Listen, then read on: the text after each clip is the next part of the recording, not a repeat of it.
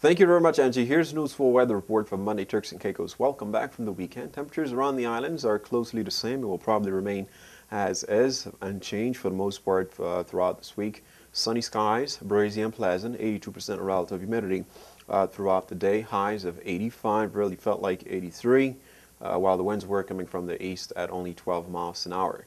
Mainly clear skies and breezy tonight, 72 degrees expected, and Providence, Charleston, of course, uh, West Caicos this evening. Partly cloudy with chance of showers in north and middle with 72 still.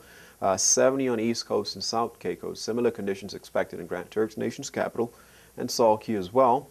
Uh, they're looking at lows of 71, while the winds are from the east, 17 miles an hour, 80% of current humidity. 714 sunset earlier should rise at about 607 on Tuesday morning. High tide is 1107 this evening. However, look forward to the next uh, low tide at about 5.52 in the morning as well. A look at the week-long forecast, breezy and pleasant with a full day of sunshine starting Tuesday. Highs uh, will be in the 70s and the 90s with 97 degrees. Chance of showers at night. Moving on to Wednesday as well with partly sunny skies. Breezy with a few showers during the day. Highs of 93.